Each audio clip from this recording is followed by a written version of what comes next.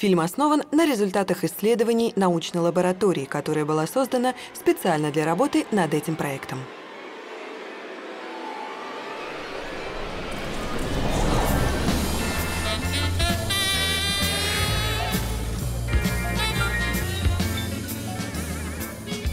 Смотрите внимательно. Это первое свидание. Он просто пригласил ее в кафе. И еще не знает, нравится ли ей. А он ей нравится, как бы она ни пыталась это скрыть. Лицо, мимика выдают ее.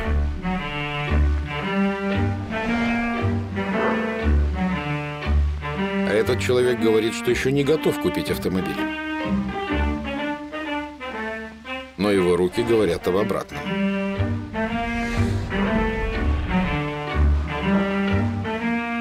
Допрос. Преступник утверждает, что не знает потерпевшего, но это ложь. Как бы он ни пытался ее скрыть, за него опять говорят его жесты и его мимика. Жест, движение, взгляд – это и есть то, что заставляет вас верить. Верить намного более мощно, чем вы верите, когда часто общаетесь через речевое общение. Жесты и мимика всегда помогают нам разобраться том, например, говорит человек нам правду, или он нам лжет, хотя бы искренне он, или что-то скрывает. А, хорошо он к чему-то относится или плохо. Ж – это как жизнь, это что-то струящееся из нас. Это как опадание осеннего листа. И Т – обрубание. Мы режем нечто. Мы как закройщики, с помощью жестов мы режем электромагнитное поле, которое вокруг нас. Как часто мы слышим только то, что хотим услышать. Как часто мы обижаемся. Ты же говорил, ты же обещала, я сам это слышал. Мы внимательно вслушиваемся в слова, стараясь понять и узнать. А на самом деле, для того, чтобы понять и узнать, надо всего лишь смотреть и понимать. Глаза собеседника, его мимику, его жесты. Руки, глаза, лицо – именно они разговаривают с нами. Только они нас раздражают, и только они говорят нам правду. Язык мимики и жестов. Его почти невозможно подделать, но ему можно научиться и научить. На протяжении всего фильма мы постараемся научить вас хоть немного расшифровывать язык жестов. И, вероятно, после этого вы станете понимать, о чем думает собеседник, как на самом деле относятся к вам близкие люди. Смотрите внимательно, и вы поймете, о чем говорит человек, когда молчит.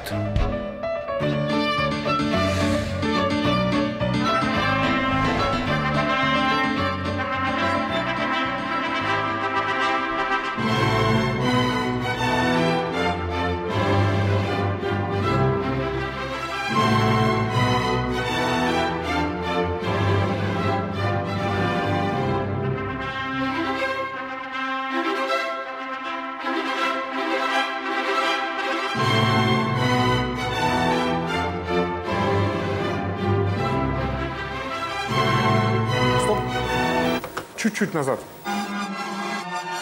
Вот, смотрите, вот он поворачивается к ней. На его лице нет ни тени улыбки. Он смотрит на нее, она этого не видит.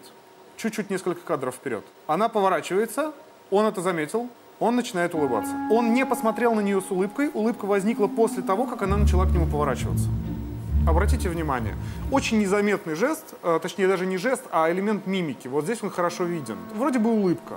Но если мы посмотрим еще на несколько кадров э, вперед, теперь уже не назад, вот мы увидим, что уголок губы начал играть вниз. Вместе с часто закрывающимися глазами, вместе с э, целом напряженной достаточной позой, тереблением пальцев. Мы все это можем собрать вместе и сказать, что человек достаточно напряжен и, скорее всего, разыгрывает из себя веселого человека. А внутри держится очень жестко, очень сильно, может быть, переживает. Или, ну, вот я в таком случае бы предположил, что что-то не так. А, Бог его знает из каких соображений, но я думаю, что лукавит. Эта пара распалась через полгода после свадьбы. Василий сбежал вместе с деньгами жены, а Александра уехала в Москву лечить депрессию. «Он говорил, что любит меня», — твердила Александра. «Смотрите, какая красивая у нас была свадьба». Психолог внимательно посмотрел на жениха и увидел. «Смотрите, что происходит с человеком, когда он лжет. Видите покраснение около уха? Это говорит о том, что у человека присутствует серьезное внутреннее напряжение. Видите улыбку? Улыбается только рот жениха, глаза остаются серьезными. А теперь руки жениха. Он теребит пальцы. С помощью рук он пытается выстроить барьер между собой и якобы любимой женщиной. Влюбленные люди так себя не ведут. У влюбленных совсем другие жесты.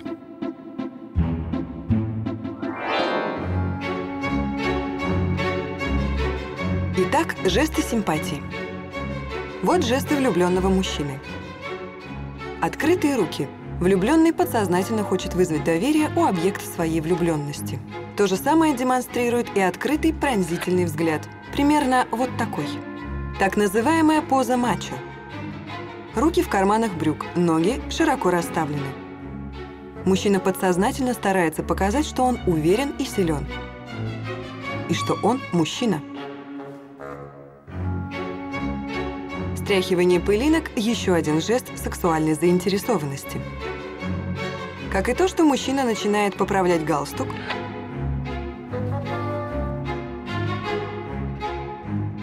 и поправлять манжеты. А вот женщина, если хочет привлечь внимание мужчины, начинает поправлять свою прическу, трогать лицо, шею и демонстрировать запястье и тыльную сторону ладони, приоткрывает рот. Если бы все люди могли правильно читать жесты, скольких трагедий удалось бы избежать? Ученые, занимающиеся невербальными коммуникациями, утверждают, что особенного успеха у противоположного пола добиваются не самые красивые женщины, а женщины, которые правильно жестикулируют.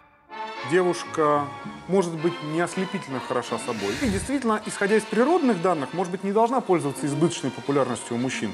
Но при этом она настолько естественно и гармонично пользуется жестами, мимикой, а, указывающими на а, ее женственность. Ну, мы сами знаем этих замечательных девушек, которые открыто смотрят на собеседника, распахивают вот так вот глаза и смотрят, у которых в восхищении приоткрывается рот часто, да, там губы.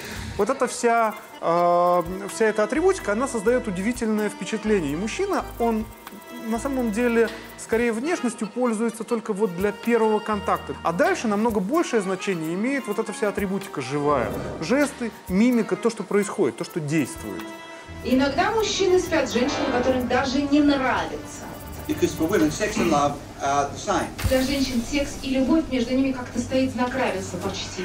Но для мужчин это совершенно не так обстоит, и все мужчины в этой комнате это понимают. Алан, теперь я понимаю, когда э, супруг застает мужа в кровати с другой, он говорит, это не то, что ты думаешь. О том, как правильно пользоваться жестами, написано сотни книг. Но, наверное, больше всех в мире про жесты написал австралиец Алан Пис. Ladies and gentlemen, the host of Body Language, Mr. Alan Peace. Good evening and welcome again to Body Language. Языку жестов он научился еще ребенком, когда в 10 лет начал работать торговым агентом. Именно правильная жестикуляция помогла ему в 21 год стать самым молодым австралийцем, продавшим страховых контрактов на сумму в 1 миллион долларов. Потом Алан Пис собрал накопленные знания и опыт и стал продавать их. Получилось еще лучше, чем со страховыми контрактами. Пис продал более 20 миллионов книг. Сделал телевизионное шоу «Язык телодвижений», которое посмотрело около 100 миллионов человек. А начиналось все вот с такого же тренинга, где будущих торговых агентов учили, как правильно управлять своим телом. Итак, что вам нужно знать? Ну, во-первых, а, от середины живота до середины лба вот эта вот линия называется линия контакта. И когда мы с вами устанавливаем контакт, важно, чтобы жесты были вдоль линии контакта, чтобы вы ее не пересекали. Мои жесты движутся вдоль линии контакта. Я открыта вам, и у нас образуется такой вот невидимые узы, невидимая связь. Получается контакт. Что будет, если я начинаю пересекать эту линию? Это ошибка, да? Вот этот жест «до свидания», «пока». Мы как рвем контакт. Психолог Жанна Завьялова уже давно не пересекает линии контакта. Она мила, приветлива, легко находит язык с самыми разными людьми. Сегодня Жанна бизнес-тренер, один из самых успешных в России. На языке жестов она говорит без акцента. Руки двигаются четко и без ошибок. Ведь одно неосторожное движение и контакт со слушателем может быть потерян. Проводили эксперимент психологи на детях. А в интернате у детей, которых не было контакта со своими педагогами, а, что делали психологи? Они просто беседовали с детьми, периодически показывая ладошки. Как бы, про между прочим, что-то рассказывая, такой жест, он естественный жест, как будто бы вот он необходимый. Ничего специального вот так вот не делалось. Дети стали доверять, соответственно, они стали раскрываться, откровенничать перед психологами. Поэтому, если вы хотите, чтобы ваш клиент вам доверял, вам нужно делать такие жесты, чтобы раскрывать свои ладони. Ни в коем случае не показывать кулаки, это ошибка. Ни в коем случае не убирать руки там в карманы или за спину. Вот это вот, вот такой жест, это очень ошибочный жест. Особенно еще хуже вот такой вот, да. Так стоят обычно пенальти. Закрывая одно место, чтобы, в общем, чтобы было безопасно. Да, мы не должны так стоять, потому что мы все нарушили сразу. Итак, если вы хотите вызвать доверие у клиентов, то вот жесты, которые вам запрещено делать. Ни в коем случае нельзя пересекать линию контакта. Нельзя потирать руки. У клиента сразу возникнет ощущение, что его обманывают. Нельзя сжимать кулаки. Это выдает внутреннее возбуждение, агрессивность. Нельзя ставить руки на талию и тем самым подсознательно пытаться занять как можно больше места в пространстве. Клиент должен чувствовать себя главным.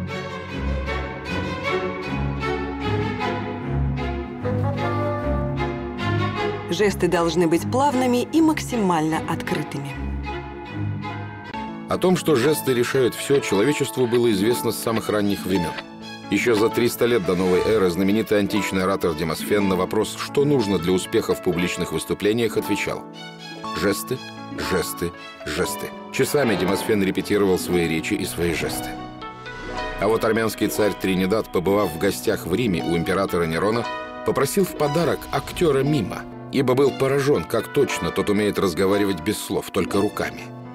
Тринидад, который тогда правил многоязычной страной, понял, что лучше переводчика ему не найти.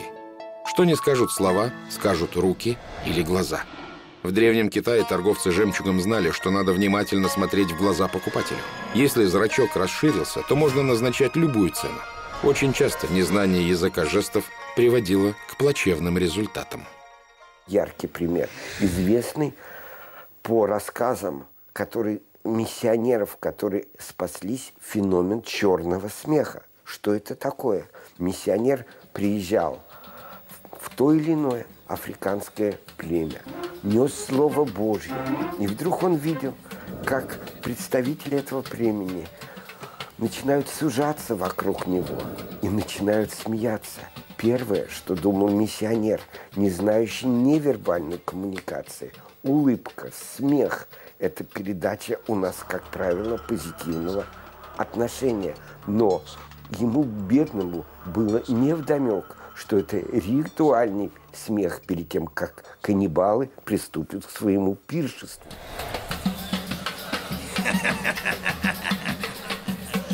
Отсюда это явление было названо черным смехом. Чтобы избежать недоразумений, в Колумбии даже создали специальный словарь, помогающий туристам понимать, что означает тот или иной жест. В словаре собрано более двух тысяч жестов. Как часто турист, приезжая в незнакомую страну, не зная языка жестов, не может разобраться в местных обычаях. Однажды президент США Ричард Никсон попал в очень неприятную историю. Выступая с речью в Бразилии, он поднял вверх руку с соединенными кольцом большим и указательным пальцами – для него, как и для любого американца, этот жест означал «окей». А для бразильцев, как выяснилось, сексуальное оскорбление. Или кукиш, который в России наравне с высунутым языком считается не более чем детской шалостью. А вот у турок, латиноамериканцев, жителей Средиземноморья, этот жест является смертельным оскорблением. Или, например, для того, чтобы согласиться, нам достаточно кивнуть головой сверху вниз – а в Саудовской Аравии, да, это вращение головой из стороны в сторону, как у нас нет. В Ливане и Иране, чтобы сказать «нет», достаточно резко поднять и запрокинуть голову. А чтобы сказать «да», наоборот, слегка наклонить ее вперед и вниз. Говорят, что манера принцессы Дианы слегка наклонять голову на бок и вниз помогла ей в ее благотворительной карьере. Этот ее жест выглядел для жителей ближневосточного региона как согласие помочь – тем более, что приезжала туда Диана с гуманитарной миссией. Чтобы избежать неприятностей, опытные журналисты перед каждой поездкой в новую страну тщательно изучают язык ее жестов. А, я однажды приехал на интервью к президенту Сирии Асаду. Они меня сами пригласили, но в силу особенностей арабской политики попросили меня привести пару дисков с какими-то интервью, которые писал ранее. Ну, хорошо, пожалуйста. Я им привез Буша и привез Путина не очень важно сначала. Хорошо. Вечером, в канун интервью, за мной приезжает бронированный «Мерседес». с автоматчиками меня везут по каким-то темным улицам. Я думаю, господи, куда же какой-то бункер привозят в тот же самый офис, где я был днем. Ну, там пресс-служба президента. Где сидит тот же самый человек, с которым я днем общался, но он строгий, такой. Мы посмотрели ваши материалы. А как вы собираетесь сидеть с нашим президентом? Я говорю, как обычно, нет. Как обычно, вы с ним сидеть не будете. Я говорю, а в чем дело-то? Мы видели ваше интервью с Бушем. Для меня главное – это общение с Владимиром Путиным, общение лидера с лидером. Доверие – важное понятие.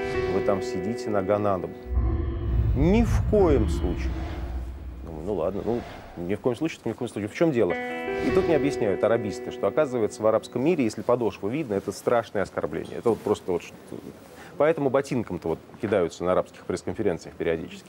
Вот. Ну вот, иными словами, в арабском мире, в восточном мире никаких ногу на ногу, потому что, не дай бог, будет видно подошву, это будет совершенно неправильно э, считано. С кем только не разговаривал ведущий программы «Вести» в субботу Сергей Брилев. Президенты России, Америки, самые известные политики почти всех мировых держав. Есть достаточно существенная разница между политиками нашими и западными, потому что западники практически все прошли тренинги на предмет общения с журналистами то время как в России вот это само понятие тренинга на предмет интервью возникло ну, вот последние ну, 3-4 года. Как это не парадоксально, очень многие политики в России такие тренинги не проходили. И это сказывается. Ну вот, например, ну, если я скажу половина российских политиков, я, наверное, чуть-чуть буду кривить душой, но треть-то точно. Треть точно норовит непременно, давая интервью, сесть за стол.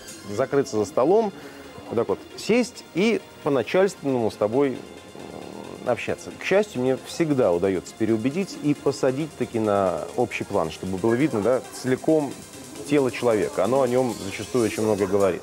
Беда заключается в том, что наши не всегда знают, что с этим телом делать. А, собственно говоря, но только в России а, спрашивают, а вот если сяду, сяду ногу на ногу, то чего? День, когда американские политики стали изучать язык жестов, вошел в историю. 26 сентября 1960 года. Первые президентские теледебаты в США. Загорелый, уверенный в себе, энергично жестикулирующий Кеннеди выглядел гораздо лучше Никсона, не загримированного, одетого в светлый костюм, который практически слился с декорацией. Никсон сильно потел, выглядел растерянным и бледным. Примерно 75 миллионов телезрителей тогда присудили победу Кеннеди – а вот 15 миллионов человек, которые слушали эти дебаты по радио и не видели всей мощи Кеннеди и растерянности Никсона, присудили победу последнему. Тогда в Соединенных Штатах Америки политики поняли – ты то, как ты выглядишь. Сегодня над имиджем американского президента работают сотни профессионалов. Перед тем, как выйти и выступить перед аудиторией, политики тратят годы на то, чтобы научиться управлять своим телом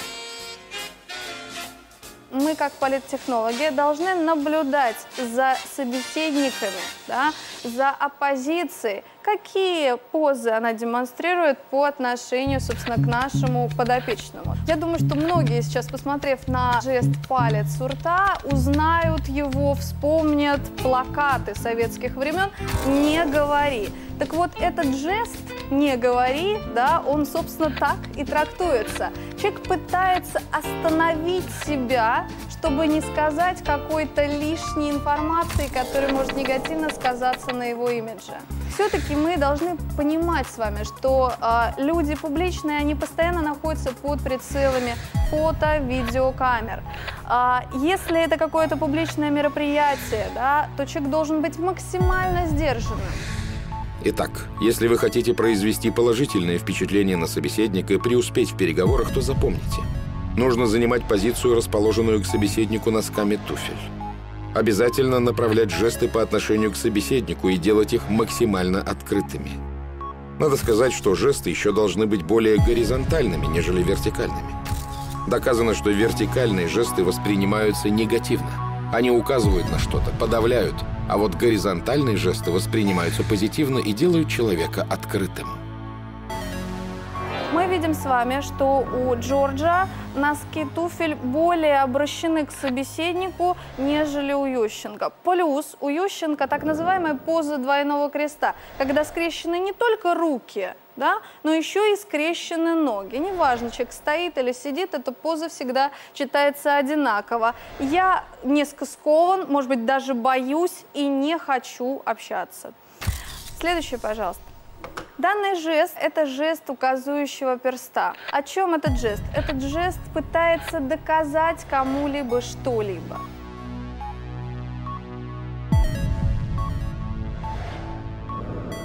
Но есть несколько другие варианты проявления вот такого жеста. Давайте посмотрим. Он более интересен. Обратите внимание, это указывающий перст уже обращен не к конкретному человеку, а это палец, поднятый над толпой. Они пытаются повелевать тем самым, сообщают вот эту информацию. Свою коллекцию знаменитых жестов политиков психолог Екатерина Грибалова начала собирать еще в институте. Теперь она с удовольствием показывает студентам, что нужно, а что нельзя делать. О своих влиятельных клиентах, политиках и бизнесменах Екатерина рассказывать отказывается. Профессиональная этика. Впрочем, она не скрывает, почти всех политиков приходится заново учить управлению своим телом.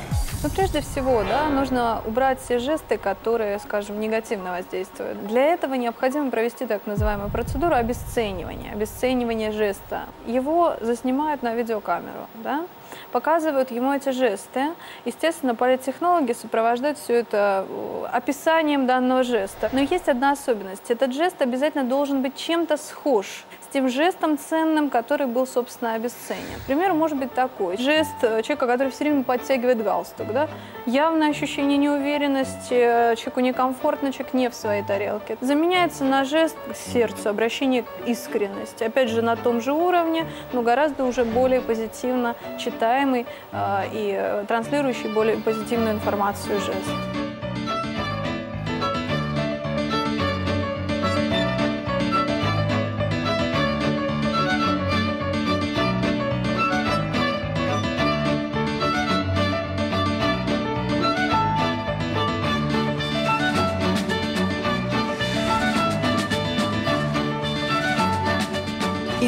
Посмотрите, что на самом деле говорят нам политики.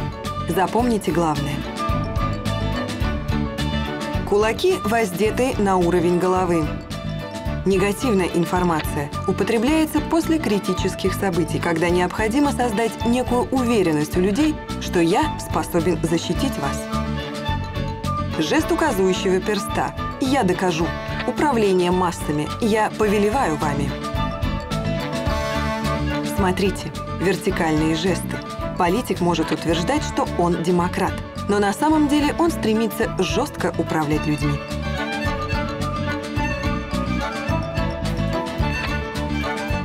Если политик прижимает руки к груди, то он действительно хочет, чтобы ему поверили. «Поверьте мне, я говорю правду», – просит политик.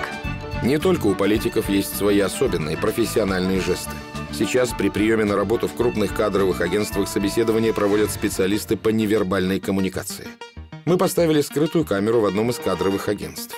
Посмотрите, как правильно и неправильно вести себя при приеме на работу. Итак, первый кандидат. Он улыбается. У него чуть-чуть зажаты губы. Руки в замке. Это означает некоторое волнение в самом начале контакта. Пока не страшно. Вот он прячет ладошки, но одновременно немножко и показывает. Мы видим уголки глаз расслаблены, хотя уголки губ слегка напряжены. Но время идет, и лицо мужчины становится все более и более открытым и расслабленным. Первое волнение прошло. А вот здесь, видите, после вопроса взгляд уходит, и мужчина закусывает губы. Это значит, вопрос вызвал проблему. Вот человек трогает ухо. Это означает, что он не знает ответа. Этот человек не прошел собеседование. А вот пример удачного интервью. Мужчина расслаблен, у него открыты руки, взгляд спокоен, он уверен. Когда он закатывает глаза, то его зрачок уходит вправо, а это означает, что человек задумался. Задумываться на собеседовании можно и даже желательно. А вообще, чем меньше вы жестикулируете на собеседовании, тем лучше будет впечатление, которое вы произведете. И еще кивайте на собеседовании. У собеседника должно складываться ощущение, что вы полностью с ним согласны. Вот женщина. Видите, она поставила сумочку себе на колени, то есть защитилась от интервьюера. Это жест скромности. Вот она, отвечая на вопрос, уводит взгляд, что говорит о ее сильной неуверенности. Женщина трогает волосы. Это очень женский знак, скорее даже эротический. На собеседовании он неуместен. Она совершенно точно не останется в сверхурочные часы. Поправление волос говорит о том, что дом, семья – это те ценности, которые для нее важнее работы. Правда, если бы она претендовала не на вакансию менеджера, а, например, пришла устраиваться няней, то психолог мог вынести положительный вердикт. У каждой профессии особый жест. Ну, смотрите, что мы ждем от няни? Мы ждем любви к ребенку, прежде всего, заботы и ответственности. Жесты любви, чувств, проявления, что человек сердечный – это жесты в районе сердца. А, няня, которая будет много делать таких жестов да, в районе сердца, скорее всего, обладает чувственностью и заботой о ребенке. Няня, которая вообще не подносит сюда руки, а зажимается вот так вот, скорее всего, сухая, такая, может быть, интеллектуалка, может быть, обладающая системой воспитания, но она вот жесткая будет. Поэтому жесты в районе вот, э, солнечного сплетения, они нежелательны для няни. Она скорее будет дрессировать ребенка, нежели любить и заботиться о нем. Если это хирург, с одной стороны, он не должен быть излишне чувствительным, иначе он не сможет разрезать человека. Поэтому наоборот получается, жесты в районе сердца, они покажут, что у человека будет эмоциональное выгорание на работе, он не сможет много работать. А уж если это детский педиатр, тогда пусть чувствует детей, пусть будет заботливым. Так, главное в языке жестов – это конгруентность или соответствие. Если человек говорит правду, то его жесты конгруентны его словам. Проведем эксперимент. Психолог Центра невербальных исследований отсматривает телеинтервью с известным специалистом по йоге. Как известно, люди, занимающиеся йогой, феноменально контролируют свое тело. Но могут ли они заставить его не реагировать на ложь? Как понять, что человек обманывает, даже если он обманывает сам себя? Я такой неспокойный, в принципе, персонаж, и мне там ну, не нравится всякая там фигня, которая людям обычным может показаться блажью, глупости, там еще что-то. Мне как-то проверять себя нравится. Я там езжу быстро, на быстрых машинах часто. Иногда это, ну, зачастую ну, это не трасса.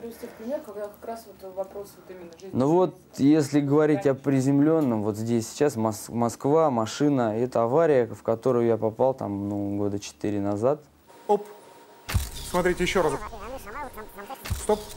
Он говорит года четыре назад, и у него возникает очень очень сильное напряжение мышц лица. Вот оно. Еще раз. Вот оно. Чуть назад. Вот оно. Он говорит об этом так, как будто, как будто это очень естественно для него. Он рассказывает об этом спокойно. Но в тот момент, когда он говорит об аварии, в которую он попал года четыре назад, у него возникает очень сильное напряжение мышечное, лицевое.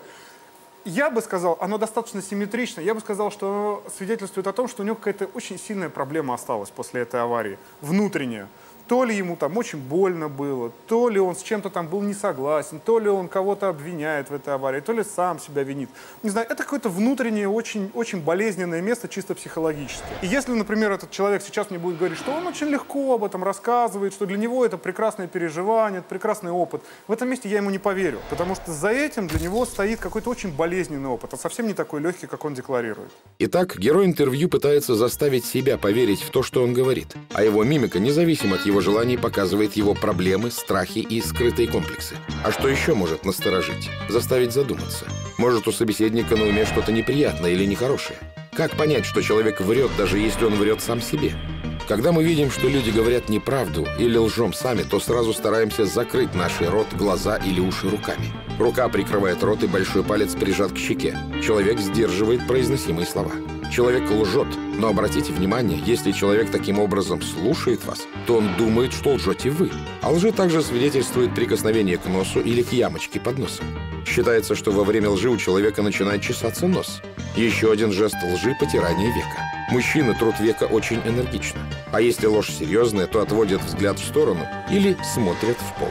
Женщина очень деликатно проделывает это движение, проводя пальцем под глазом. Когда вы понимаете, что человек лжет, вы можете попросить его повторить сказанное. Это поможет вам узнать правду.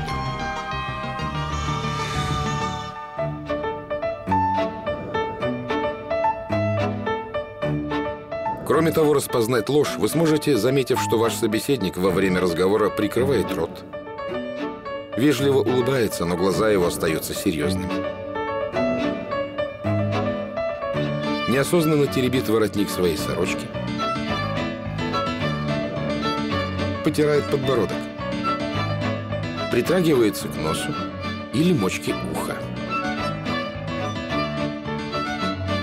В последние годы при проведении разного рода социологических опросов и фокус-групп Социологи перестали слушать то, о чем говорят опрашиваемые. Теперь здесь тоже смотрят на жесты и мимику собеседников. Например, долгое время рекламщики не могли понять, почему женщины утверждают, что им не нравятся полуобнаженные мужчины в рекламе. Но при этом реклама с сексуальным подтекстом остается самой действенной. И только несколько лет назад психологи объяснили.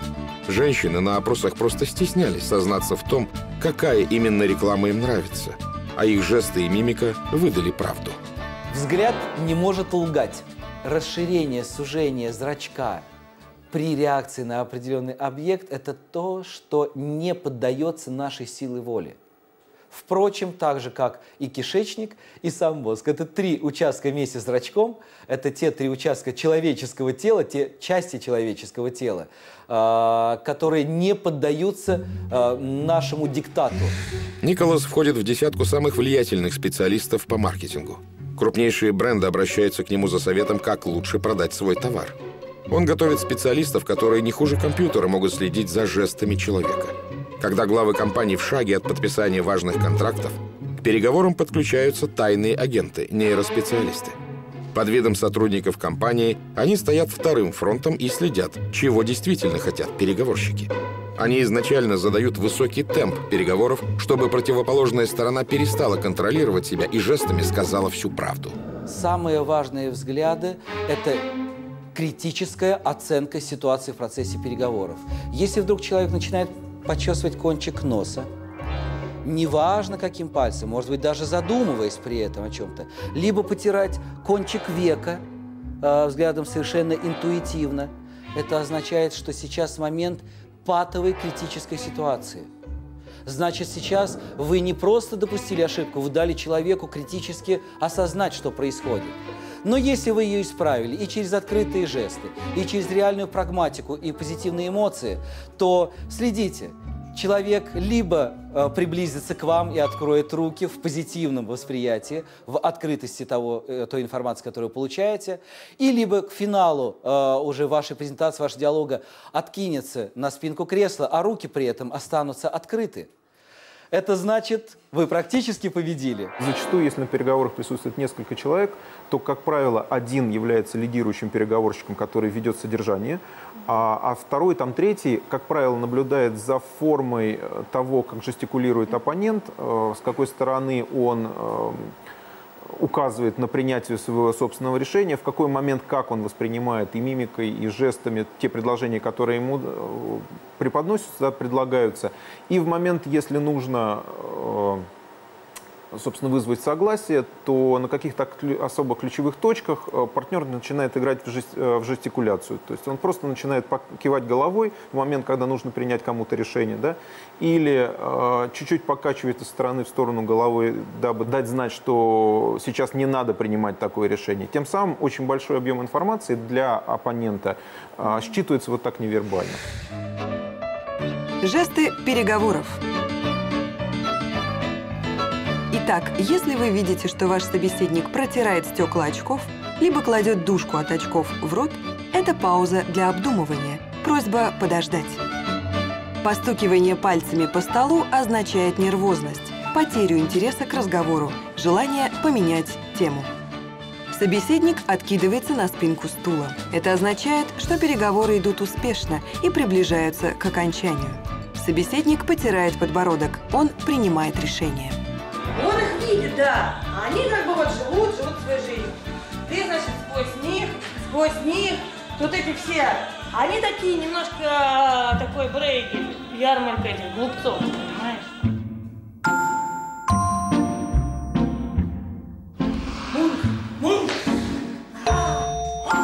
Театральный режиссер Нина Чусова еще в институте выучила язык жестов и уверенно его применяет не только на сцене, но и на переговорах. Вот эту походку дурацкую.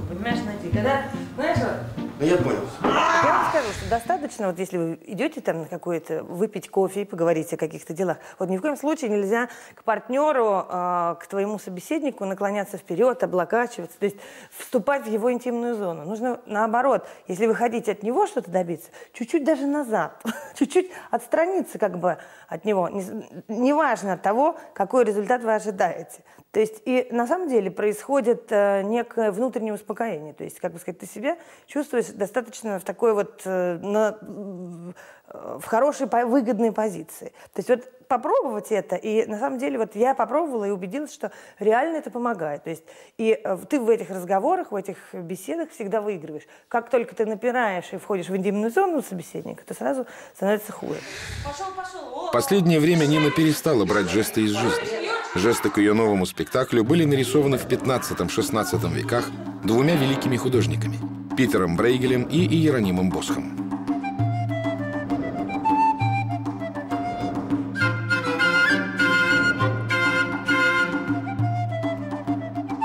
Если быть внимательным, то там нет вообще случайных каких-то поворотов головы, жестов, движений глаз и так далее. То есть все что-то обозначает. И а, вот сейчас, работая над спектаклем «Портрет», мы это активно используем. У нас настольные книги – это Брейгель и Босх, и просто по ним мы изучаем вот все, что там происходит, какое поведение. А уж аномальнее вообще этих художников, мне кажется, не существует, потому что там действительно и невозможно оторваться, потому что а, совершенно вот эти ненормальные изгибы и так далее, но они все что-то выражают. И все что-то обозначают.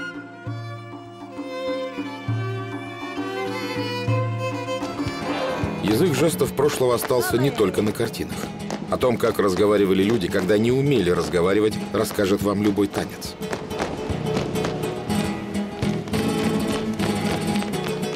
Танец – это то, что осталось от молчаливых разговоров наших предков. Ученые утверждают, что, посмотрев на то, как танцует человек, можно узнать о том, какие у него проблемы. Хореограф Елена Эрнандес уже давно по танцам изучает психологию российских женщин. Видимо, мы недооцениваем зажим, тот, ту проблему, которая сваливается на нас, когда мы пытаемся пренебречь своим телом. Да? Мы им врем, и если мы врем словами «нам кажется, что меньше», то тело и невозможность выпрямиться все ставят по своим местам. Я на занятиях вижу и на раз больше, чем хочу видеть. Это какой-то страшный ценз. Это страшный тест на то, живешь ли ты как хочешь.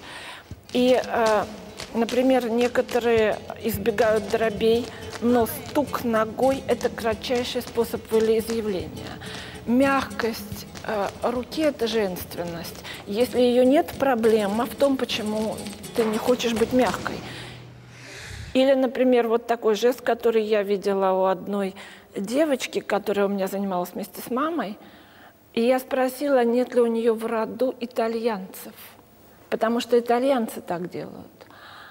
На что мама разрыдалась, а девочка крикнула, мама, я так и знала, что мой отец Джованни. С тем, что жесты могут передаваться генетически, согласны и ученые. Именно поэтому жесты королей и аристократов так сильно отличаются от жестов простых людей. Если деньги и титул достаются по наследству, это видно сразу. Минимум жестов. По рукам и телу невозможно ничего прочитать. Люди не должны видеть своего короля, нервно теребящего платок или чешущего нос. Впрочем, если уметь читать жесты, то можно узнать даже мысли английской королевы. Вот она трогает мочку уха, жест неуверенности. Психологи объясняют. Несколько минут назад королева купила на аукционе фортепиано и теперь раздумывает, зачем она это сделала.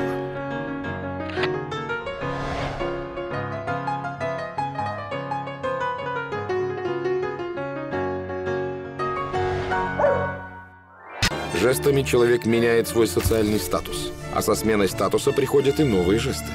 Жесты сильного, уверенного в себе человека. Первую очередь меняется осанка. Плечи распрямляются, грудь идет вперед. Поднятая голова, высоко задранный подбородок. Вот он, победитель. Но как только речь пойдет о серьезной сделке, как только появится риск потерять заработанные миллионы, тот же самый победитель начнет нервничать. И это сразу отразится на его жестах и на его осанке. Добрый вечер,